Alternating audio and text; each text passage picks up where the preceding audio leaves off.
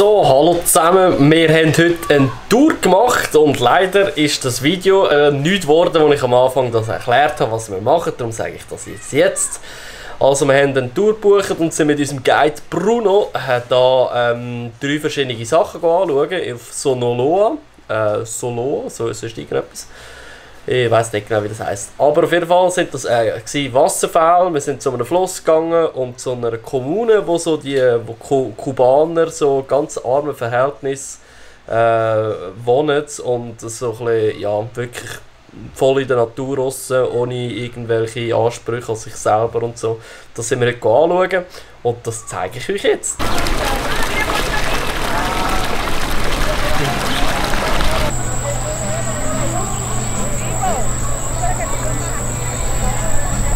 Also das da, der Baum heißt Arbol de Turista. Und zwar, mal schauen, wenn man da so reibt, blättert es so ein bisschen ab wie, wie Touristen, die immer den Sonnenbrand haben und wenn es sie dann nachher schält. Und ähm, der ist aber gleichzeitig sehr gut, wenn man irgendwie ein Magenproblem oder so hat, kann man da von dem vom ähm, Saft von dem Baum ein bisschen etwas trinken mit Zucker mischen und so und dann geht es einem wieder tipptopp. So, wir sind jetzt in einem Naturhotel. Ähm, äh, das ist da einfach erbaut worden, ihr seht das vielleicht. Wir sind im Hotel innen und der Baum kann da gleich noch raus. Dort kommt er aus dem Fenster raus. Und das ist einfach gemacht worden, weil sie da halt einfach nichts haben wollen, keine Bäume oder so fällen und alles für das Hotel zu errichten. Und äh, sie haben da keine, sie keine Musik ab, sie haben keinen Swimmingpool, da ist einfach alles so ein bisschen natürlicher Basis. Das hat aber also im Preis, kostet etwa 180 Franken pro Nacht, äh, wenn man da übernachten will. Und äh, ja, normalerweise ist es einfach so ein, ein, ein Ort zum Relaxen, weil es da halt einfach eine schöne Aussicht hat und da muss man mit denen ähm, sind das Teichli oder so, wo man sich ein bisschen relaxen kann. Jetzt ist aber gerade Ferienzeit und es ist Samstag und es sind zahlenmässig viele Leute da, es sind garweise gekommen. Darum präsentiert jetzt das nicht gerade so die Idylle, aber normalerweise ist das sehr, sehr ruhig. Aha, speziell, ja, ja.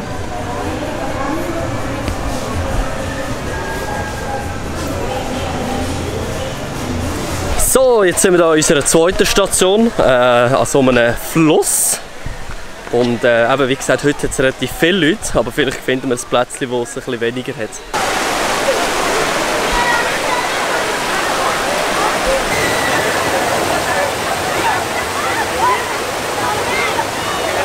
So, wir sind jetzt an dem Fluss, ähm, aber äh, ja, so wunderschön ist jetzt das auch nicht.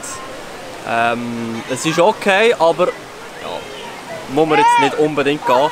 Und vor allem, äh, wenn ihr einer kommt, dann äh, nicht am Wochenende, weil schau mal,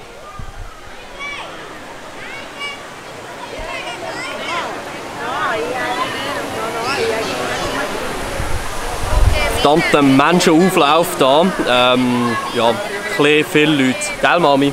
Ja, viel, ja. Das ist nicht so interessant. Ja, also ja, gibt sicher Spannendes. Aber vielleicht ähm, die Haupt Hauptattraktion heute ist eigentlich noch der Wasserfall, der ist ja sehr bekannt. Ähm, dort wird es sicher nicht weniger Leute haben, aber vielleicht ist es ein bisschen schöner dort. Wir hoffen es auf jeden Fall. Wir sind jetzt hier äh, fertig, dem Wasserfall. Ist gleich noch interessant geworden, weil wir haben noch ein bisschen mit unserem Guide geredet und der hat ganz, ganz viele Sachen erzählt. Zum Beispiel hat er gesagt, dass er pro Monat ähm, muss er etwas, muss er 640 Franken am Staat abdrucken für jenste Sachen. Damit er mit den Touristen arbeiten damit er mit den Einheimischen arbeiten ähm, Für die Versicherung, für das Auto, für das Benzin, das muss er alles am Staat abdrucken. Und alles da ist verstaatlicht. Und ich habe gesagt, ja, da hat der Staat relativ hat er mega viel Geld, das gehört praktisch alles dem Staat. Dann hat gesagt, nein, das ist nicht so, weil Kuba hat fast keine Wirtschaft, sie haben fast keine Sachen, die sie exportieren. Sie haben den Zucker, sie haben den Tabak, aber sie haben sonst fast nichts. Also sie haben während dem Tag sehen wir die Leute nicht irgendwie, die sind nicht irgendwie im Geschäft am Arbeiten, sondern die laufen auf der Straße, sie sind, ja, die leben ein kleines Leben, die haben so ein kleines Läden und so, verkaufen etwas. Aber ähm, ja, die haben keine wirkliche richtige Wirtschaft. Und darum, durch den Export verdient das, also wenn sie nichts exportieren, verdient das Land natürlich auch nichts. Und äh, ja, darum ist das ein bisschen der Nachteil. Also der Vorteil ist, sie haben natürlich ein relativ lockeres Leben. Der Nachteil ist natürlich aber, dass sie immer überall alles im Staat abgeben müssen. Und äh, ja, so hat alles ein bisschen seine Vor- und Nachteile. Er hat auch noch erzählt, dass äh, vor ein paar Jahren, äh, in den 90er Jahren, ist der Mindestlohn pro Monat 2 Franken. Also unglaublich, da hat sich einfach niemand können richtig ernähren von dem natürlich. Und ähm, darum sind dann nachher viele auf Amerika ausgewandert und haben dann nachher so ein bisschen Geld zurückgeschickt ähm, auf Kuba.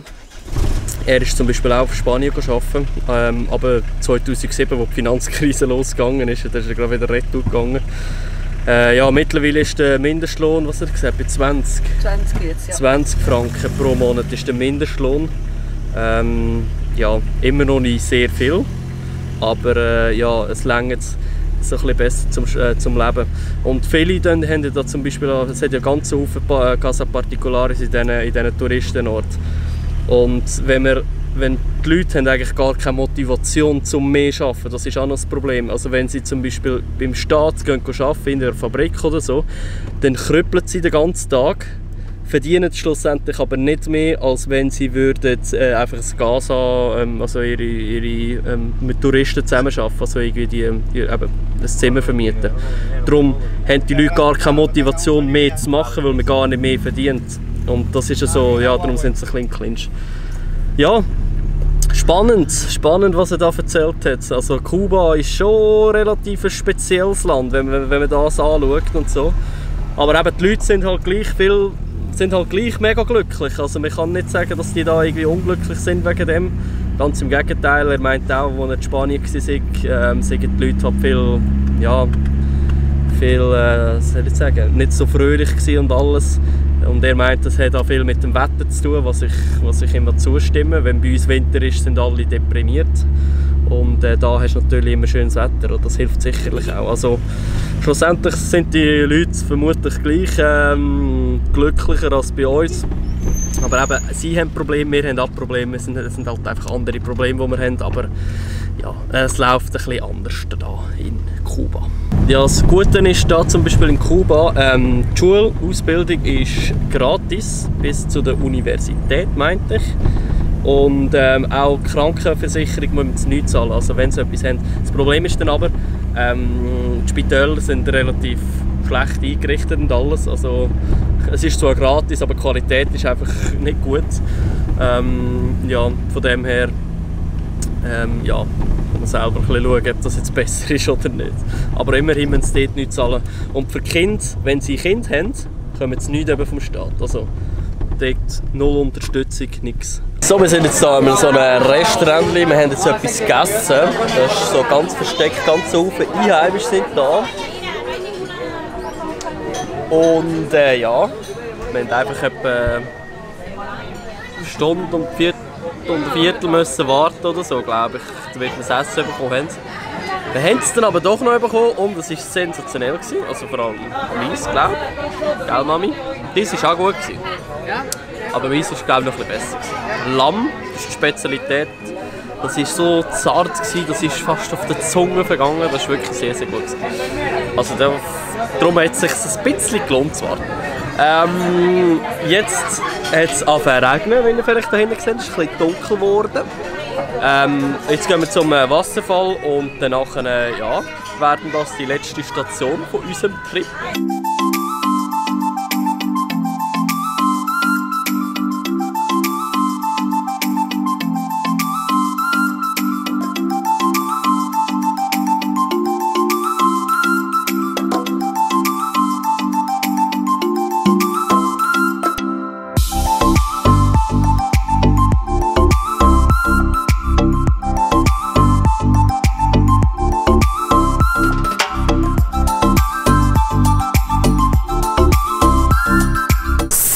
Hallo miteinander. Wir sind jetzt schon am nächsten Ort angekommen, und zwar in Playa Larga. Und wir haben jetzt heute etwa, wie lange ist das gegangen? Etwa sechs Stunden mit so einem alten Krüppeltaxi ähm, sind wir gefahren. Wir sind irgendwie 18 Leute drin in dem, in dem kleinen Auto. Also es ist fast fast ein bisschen zu mal. Ja, es war schon gross, gewesen, aber bei den 18 Leuten war es ein bisschen zu wenig gross. Gewesen. Also wenn so wirklich, zum Glück bin ich Militär gewesen, weil dort sind wir auch im, im Duro gehockt, so wie, auf einem, wie Hühner auf dem Stängel und das war eben heute auch so. Gewesen. Und äh, jetzt sind wir eben hier in Playa Larga vorne, sind wir schnell am Strand unten gewesen. Und ähm, jetzt haben sie da die Familie für uns gekocht und schaut mal, was da gibt. Ein Süppli. Ähm, das ist, glaube ich, Süßkartoffeln mit Reis und das ist Lobster mit einem Smiley drauf. Für 8 Franken. Also unglaublich, was die wieder auftischen. Da haben wir noch Bohnen, ähm, noch Bananen, frittierte Bananen. Die Mami hat ähm, ein Poulet. Also die gibt es wirklich nicht. Die Leute sind super freundlich, haben uns auch wieder super freundlich willkommen geheißen da.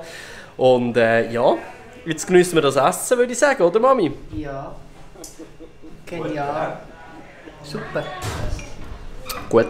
So, wunderschönen guten Morgen zusammen. Heute steht Tauchen auf dem Programm. Und zwar sind wir jetzt hier mit dem alten Ami-Schlitten vom Dorf abgeholt worden. Und äh, jetzt sind wir da an einer, an einer schönen Bucht und da geht es jetzt tauchen. Für insgesamt äh, 25 Cook, was etwa 25 Franken entspricht, also sehr, sehr günstig. Ähm, aber eben, du musst halt so ein bisschen Massenabfertigung und so, das geht alles sehr, sehr schnell und so. Jetzt einfach mal schauen, das Equipment sicher gut überprüfen und so und dann kommt das schon gut.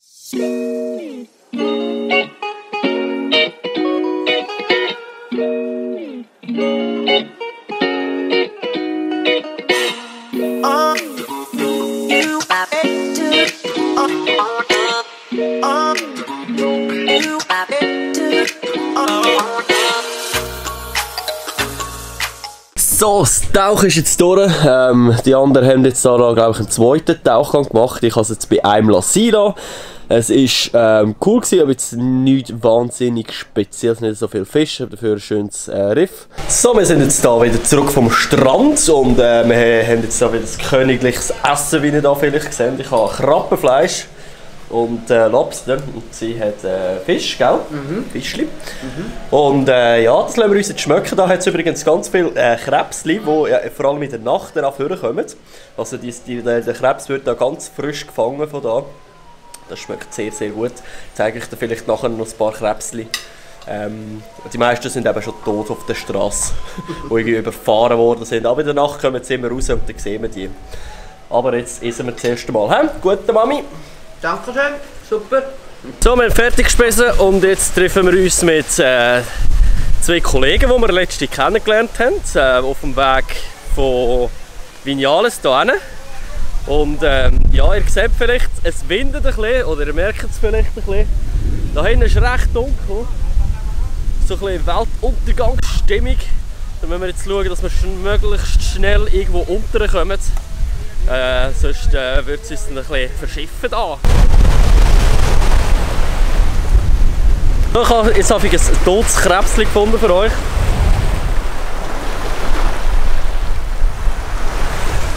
Die sind da nachher, wenn es ein bisschen dunkel wird, kommen die überall raus. Und die Hündchen, die fressen die dann nachher.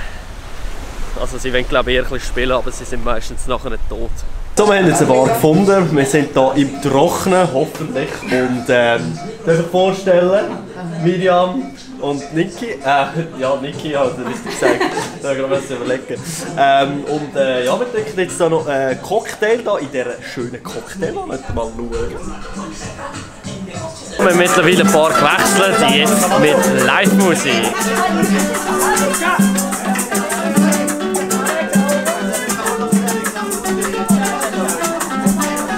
Energie.